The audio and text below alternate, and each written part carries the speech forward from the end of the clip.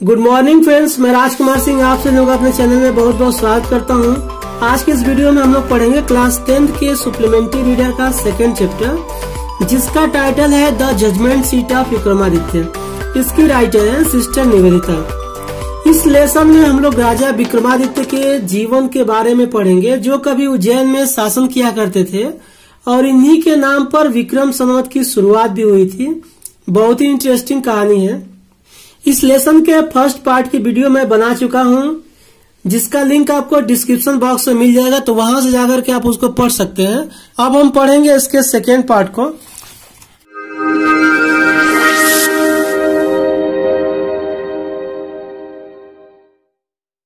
तो आइए इसके सेकेंड पार्ट को यहाँ से देखते हैं।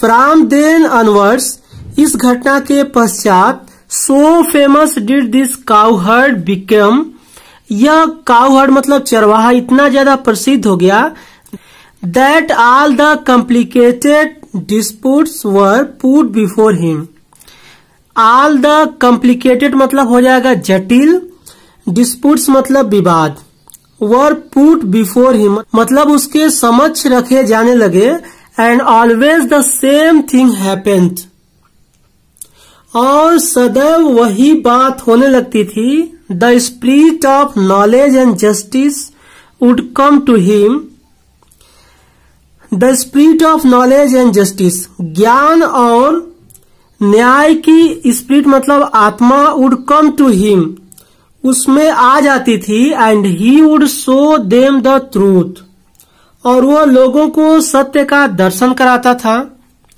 But when he came down from his seat लेकिन जैसे ही वह अपने बैठने के स्थान से नीचे आता था he would be no different from the other boys मतलब वह अन्य लड़कों के समान ही दिखाई देता था।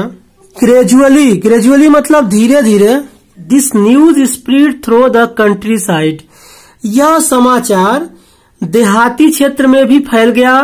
Grown up men and women from all the villages सभी गाँवों से बड़ी आयु के पुरुष तथा महिलाएँ वुड ब्रिंग देयर डिस्प्यूट्स अपने झगड़ों या विवादों को लाते थे।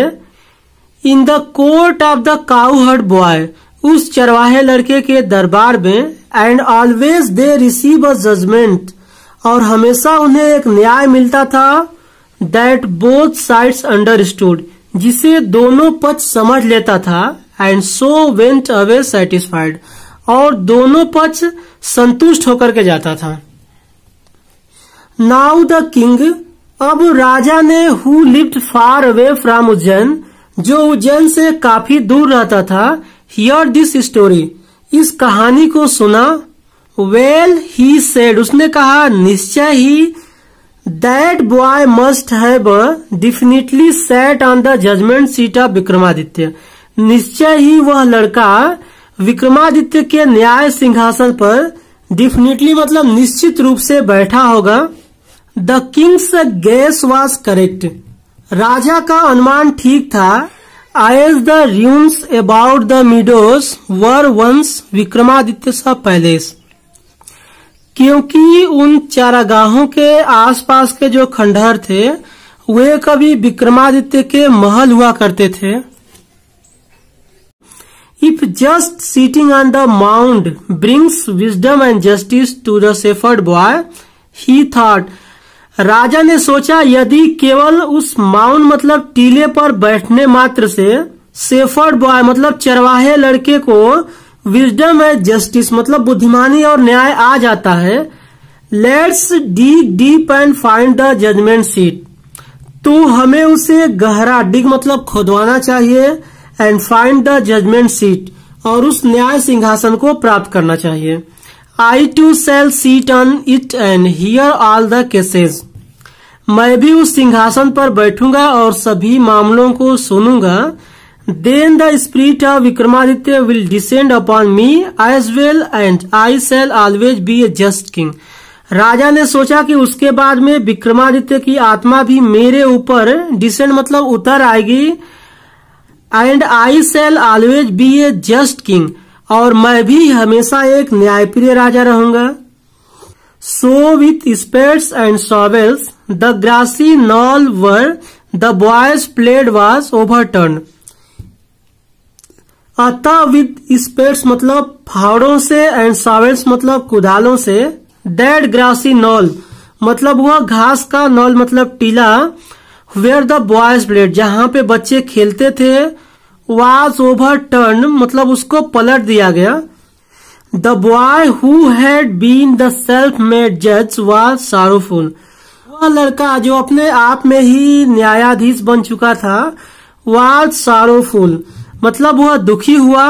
He felt that something very dear to him was being taken away उसने ऐसा फेल्ट मतलब अनुभव किया कि कोई अत्यंत प्रिय वस्तु उससे छीनी जा रही हो। At last the labourers came on something और अंत में मजदूरों को कोई वस्तु मिली। दे अनकवर्ड इट वे लोग उस पर से मिट्टी हटाए and found a slab of black marble और उन्होंने काले संगमरमर की एक स्लैब मतलब पटिया पाई। Supported on the hands and wings of 25 stone angels जो पत्थर के 25 देवदूतों के हाथों तथा पंखों के सहारे पड़ी हुई थी surely it was the judgement seat of Vikramaditya निश्चित रूप से ही यही विक्रमादित्य का न्याय सिंहासन था। With great rejoicing rejoicing मतलब हो जाएगा प्रसन्नता। अत्यंत प्रसन्नता के साथ it was brought to the city इसे नगर में लाया गया and placed in the hall of justice और इसे न्यायालय के विशाल भवन में रखा गया।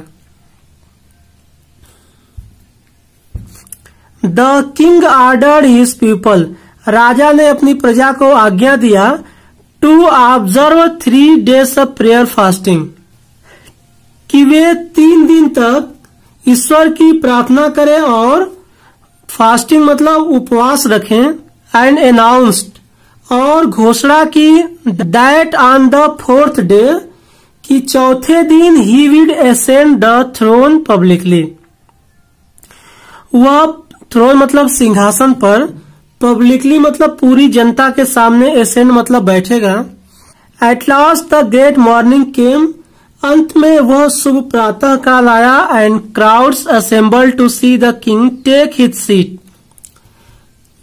और राजा को सिंहासन पर बैठते हुए देखने के लिए जो भीड़ थी वह असेंबल मतलब वहाँ इकट्ठी हो गई। Walking through the long hall लंबे हॉल में चल करके came the judges and priest of the kingdom उस राज्य के जज जो थे और जो पुजारी थे, वे चल करके आए फॉलोड बाय द किंग और उनके पीछे पीछे राजा था। Then as they reached the seat of judgment और जैसे ही वे न्याय सिंहासन के पास पहुँचे they parted into two rows वे लोग दो पक्तियों में खड़े हो गए। The king walked off in the middle और राजा उनके बीच से होकर के गुजरा। Bowed his head in reverence सम्मान में अपने सिर को बोर्ड मतलब झुकाया। And went straight to marble slab और सीधा उस संगमरमर की स्लैब मतलब पटिया के पास गया। When the king was about to sit on the throne और जैसे ही राजा उस सिंहासन पर बैठने वाला था one of the angels began to speak उसमें से एक देवदूत ने बोलना प्रारंभ किया, स्टॉप, रुक जाओ। इट सेड, उसने कहा do you think that you are worthy to sit on the judgement seat of Vikramaditya क्या तुम समझते हो कि तुम विक्रमादित्य के न्याय सिंहासन पर बैठने के योग्य हो? Have you never desire to rule over kingdoms that were not your own क्या तुमने कभी अपनी डिज़ायर मतलब इच्छा प्रकट नहीं की? उन राज्यों पर शासन करने की जो तुम्हारे नहीं थे। For a while the king could not think of an answer कुछ समय तक राजा को कोई उत्तर नहीं सूझा। He knew his life was unjust वह जानता था कि उसका जीवन न्यायपूर्ण नहीं था। आफ्टर अ लॉन्ग साइलेंस कुछ देर चुपचाप रहने के बाद ही स्पोक उसने कहा नो ही सेड नहीं। उसने कहा आई एम नॉट वर्दी मैं योग्य नहीं हूँ। Go then and fast and pray for three days said the angel देवदूत ने कहा कि तब जाओ और तीन दिन तक उपवास रखो और भगवान की प्रार्थना करो। So that you may purify yourself ताकि तुम अपने आप को प्यूरिफाई मतलब शुद्ध कर सको एंड बी वर्दी और योग्य हो सको to sit on the throne सिंहासन पर बैठने के। विथ दिज वर्ड्स इन शब्दों के साथ इस स्प्रीड इट्स विंग्स उस देवदूत ने अपने पंखों को फैला लिया एंड फ्लू अवे और उड़ गया।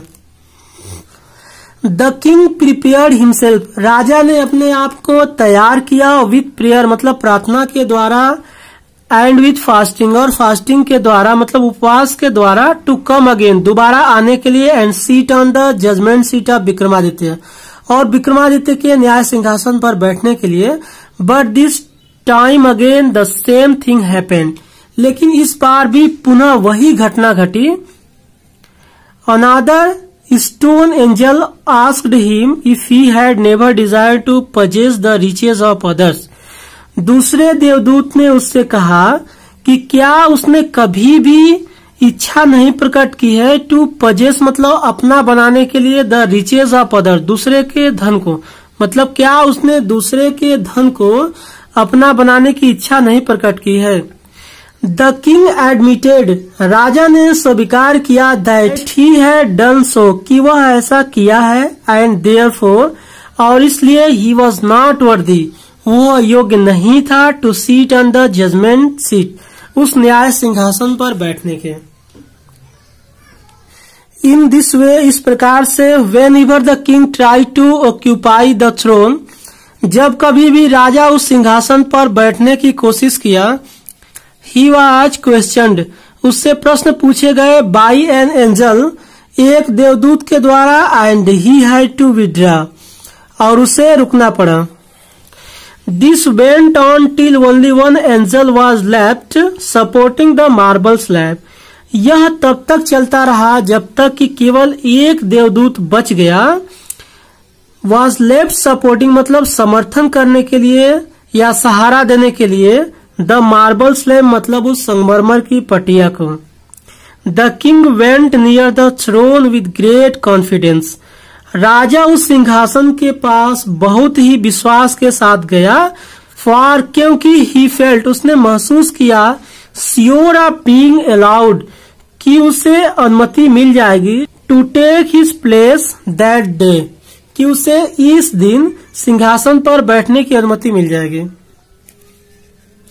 But as he came near the seat लेकिन जैसे ही वो सीट के पास आया द लास्ट एंजल स्पोक अंतिम देवदूत ने कहा are you then perfectly pure in heart O king हे राजा, क्या तुम अपने हृदय से पूरी तरह से शुद्ध हो?